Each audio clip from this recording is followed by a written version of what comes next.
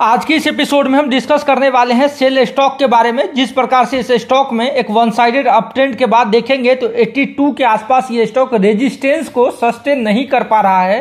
तो next uptrend के लिए इस स्टॉक में इस समय जो शॉर्ट टर्म ट्रेडर हैं वेट करेंगे। 84 के ऊपर अगर सस्टेन करता है तो इजिली 92 और दूसरा टारगेट 105 तक का within maximum one month to two month के ड्यूरेशन में दिख सकता है।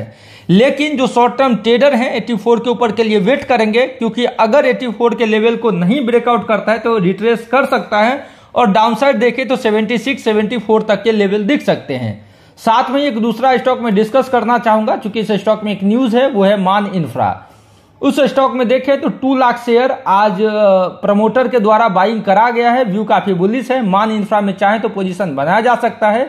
इस समय 97, 98 के आसपास प्राइस ट्रेड हो रहा है। इजिली देखे तो 110, 100, 113 तक के level within maximum two month के ड्यूरेशन में दिख सकता है।